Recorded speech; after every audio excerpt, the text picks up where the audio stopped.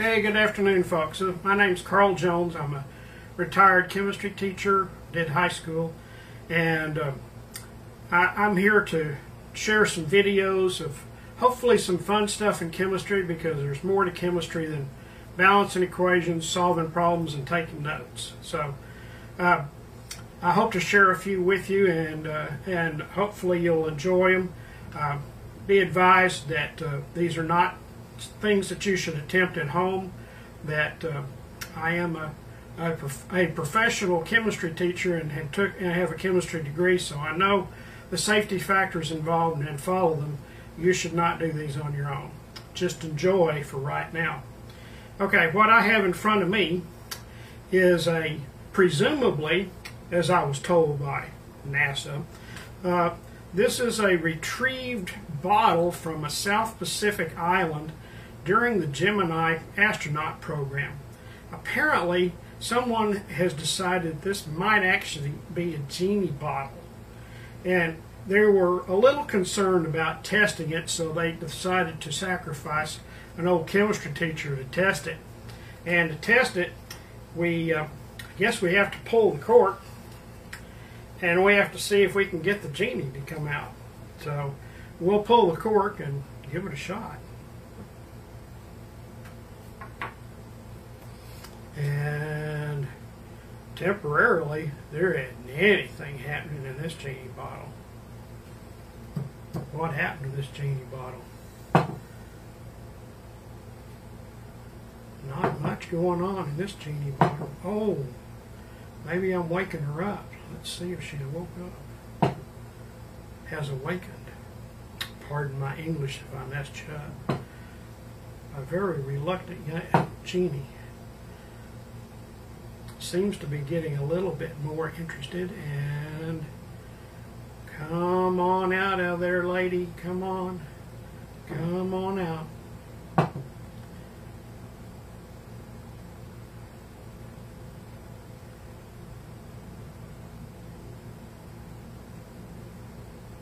And a pretty good genie.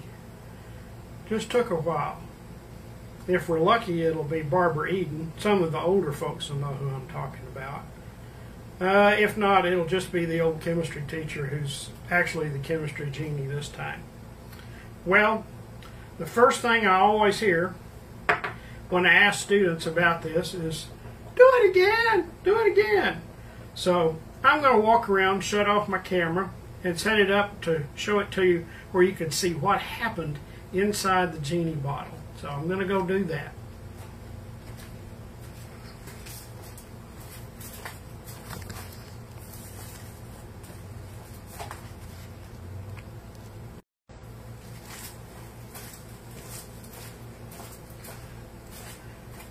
Okay, this time we're set up with a clear bottle so you can see what's going on. This is about 30 milliliters of hydrogen peroxide, very strong hydrogen peroxide, not, not what you can buy in the store and I'm going to put in a little bit of a black powder material here that is manganese dioxide or manganese 4 oxide and that was tied up in a little in a little piece of tissue like that and hung from a string.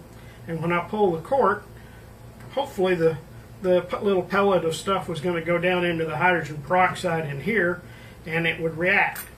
But we're going to see what happens if we just add some where you can see what's going on. Hopefully we'll get us a, a genie out of this one too.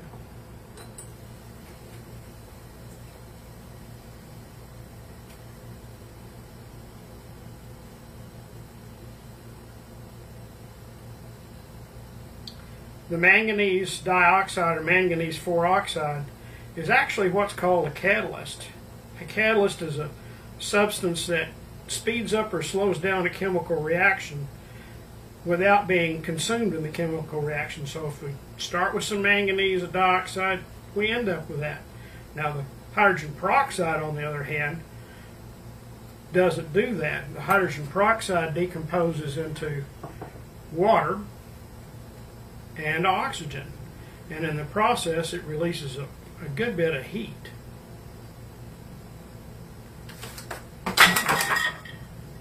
And sometimes you have crashes and bangs in the back of your lab too, but that's the way it goes.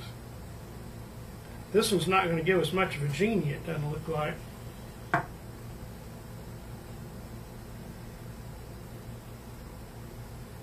Come on.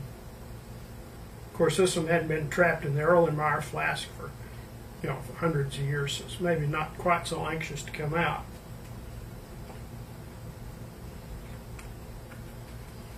And I'm going to show it to you one more time after this with a different catalyst. It's kind of interesting to see it do it with this. This other catalyst that I'm going to use is potassium iodide, and I'll use it in a minute. We'll see if let's see if this one will actually finally decide to go ahead and come out of the bottle. Looks like it's going to. Nice little bit of steam too. Wow.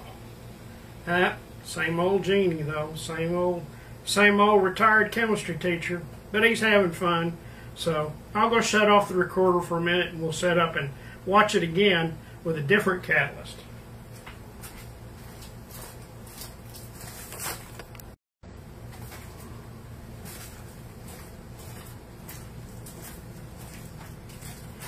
Okay, this time we're going to do it again. This time I have the hydrogen peroxide in here again.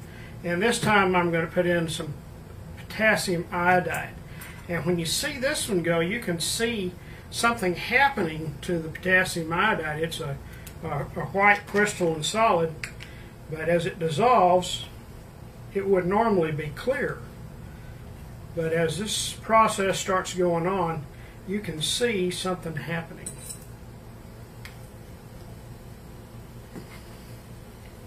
Quite a bit of color change there. That color change is due to the formation of iodine. I2. Woo! This one's a this one's a, a bit more zippy than the others were.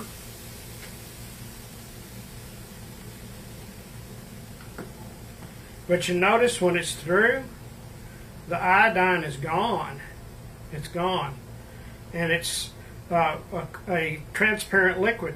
You might be able to see the splatters on the paper I put here to help us see the color change. Those splatters are elemental iodine interacting with the paper. And I do have to say today that I've had a really good time, but I, I have to have to do a little bit here of uh, of closing credits, so I'm going to come shut this off and clean up, and then I'll come back and say a few words about that.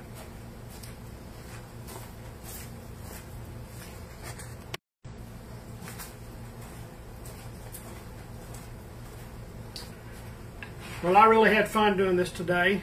I want to thank some, thank and remember some folks who uh, inspired me to do uh, many things uh, as I was teaching, and uh, helped me put on or put on many of the science shows that we used to do at Newman Smith High School. Uh, first of all, my my good friend Jim Elliott, uh, my colleague and friend Norm Ronner, um, colleague and friend Peggy Busby, and colleague and friend Koshi Daniel. Uh, all of you, all you guys were uh, always a, a, support and insp inspiration for me because of the things you brought to the table and your knowledge and your enthusiasm for science. So I'm going to sign off for today, and once again, I'm telling you, don't do these things at your house. You don't know what you're doing.